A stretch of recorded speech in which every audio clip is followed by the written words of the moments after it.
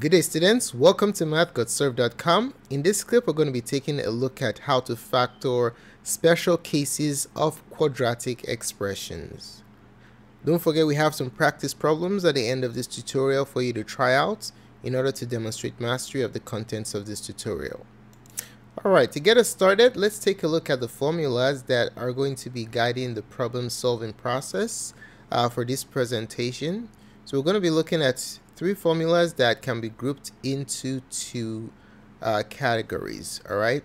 So the first formula is known as a difference of squares. So if you have a square minus b square so you have two squares and a difference or subtraction operation when you factor this it factors into a plus b times a minus b so basically you take the square root of the first and the last term and express it as the sum and the difference quantities. Alright?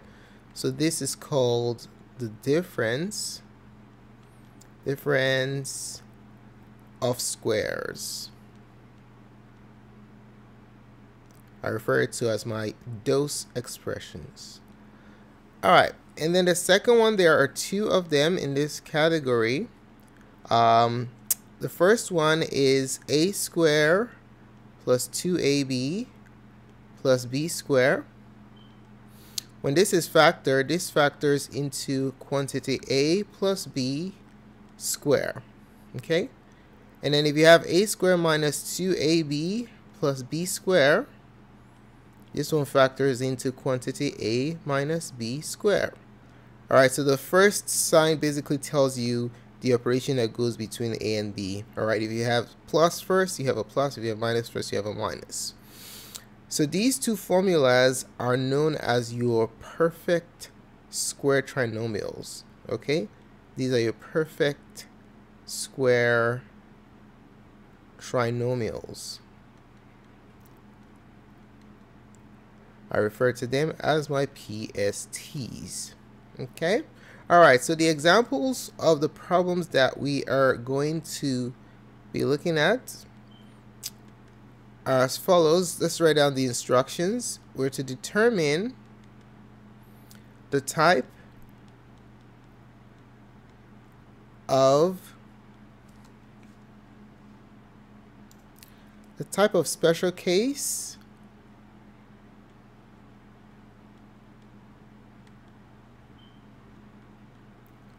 Um, step of special case, um, each given quadratic belongs to. So it's going to belong to one case or the other. Alright, so after determining what special case it belongs to, either difference of squares or perfect square trinomial, you're then going to factor it, then check your answer check your answer. Alright, so uh, let's take a look at the first example.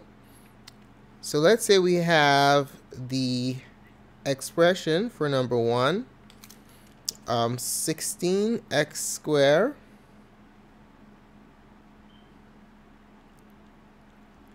minus 9.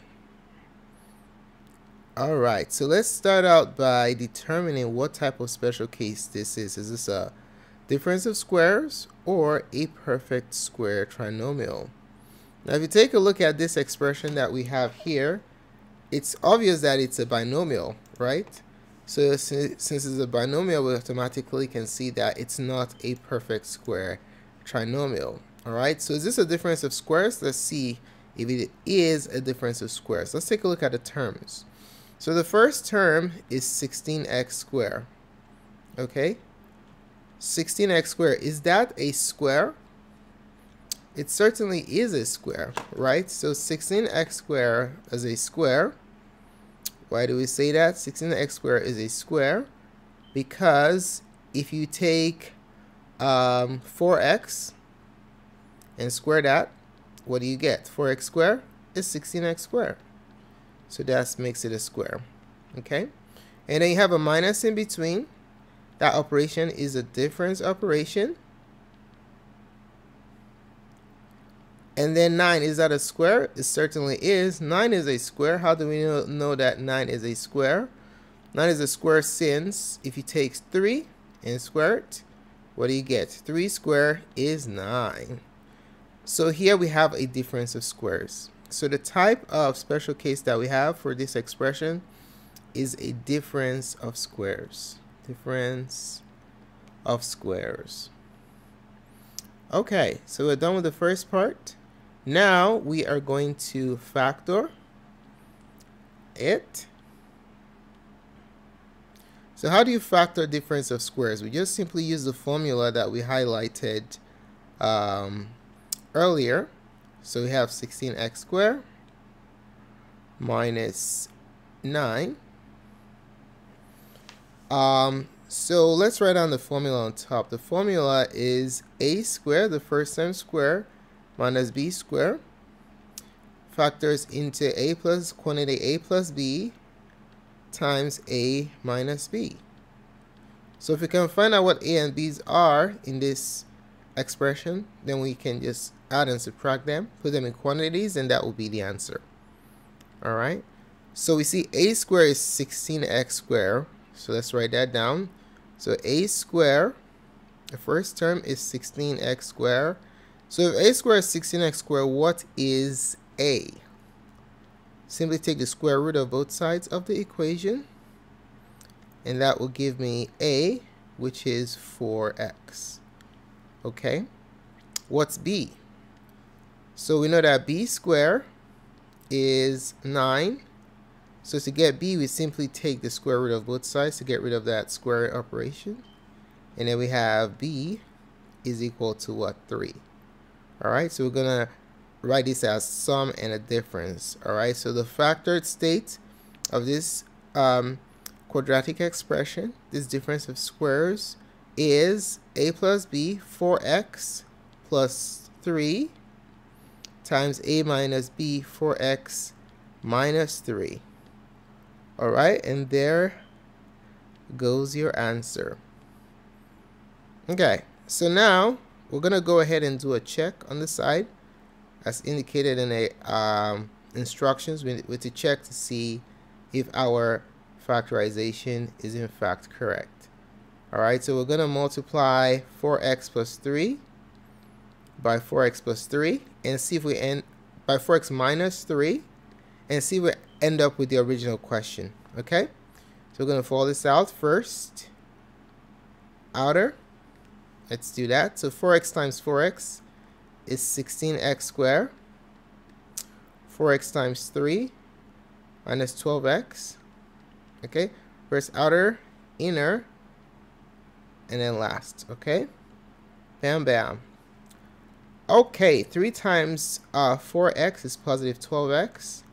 And then positive 3 times negative 3 is negative 9.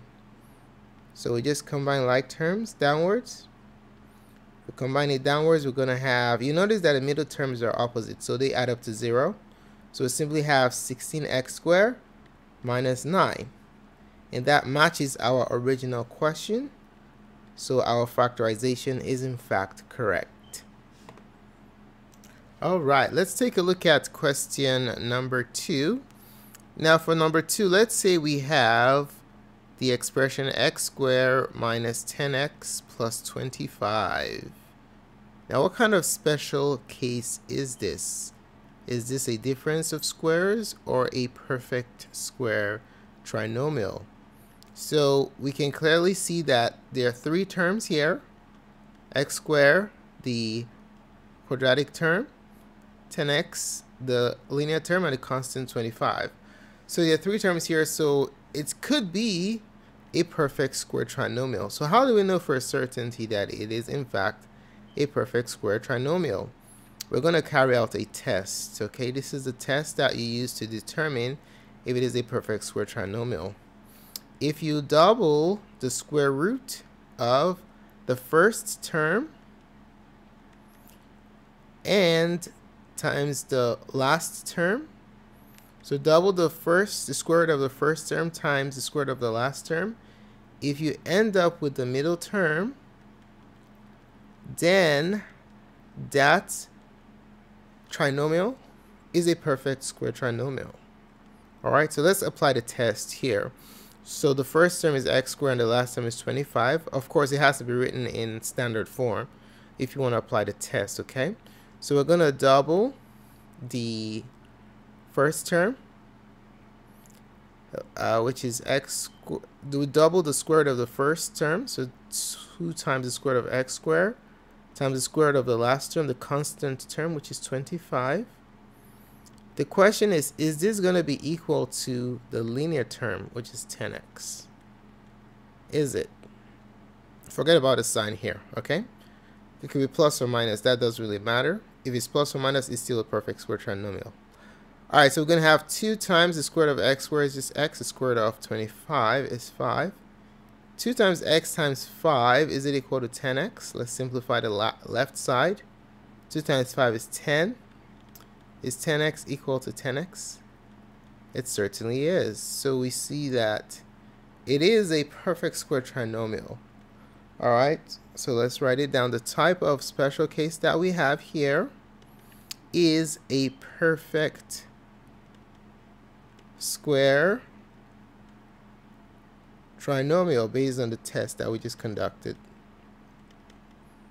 Alright, so next thing we're going to do is we're going to go ahead and factor it. The beauty of perfect square trinomials is you don't necessarily need to use the x game to factor. Okay, you can use a shortcut.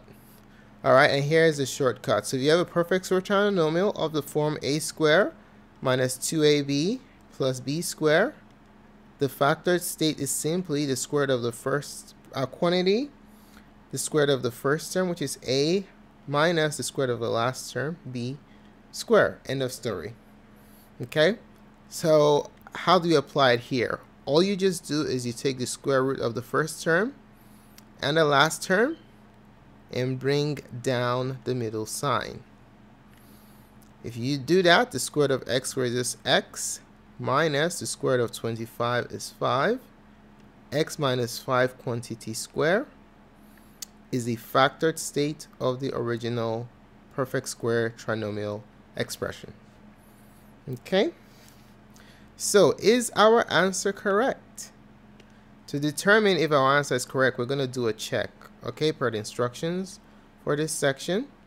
Let's check and see that if we if we expand out our answer, do we end up with the original expression? So we have quantity x minus 5 square. So what this simply means is we're going to multiply two copies of x minus 5. So x minus 5 times x minus 5. Alright, since you're multiplying two binomials, we can just FOIL it out first. Outer.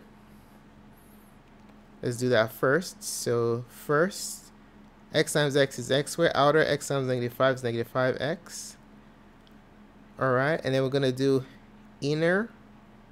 And then last. So inner x, uh, I'm sorry, negative 5 times x is negative 5x. That's inner and then last, negative 5 times negative 5 is positive 25. Bam, bam. Alright, so let's go ahead and combine like terms. We combine like terms, we're going to have x squared.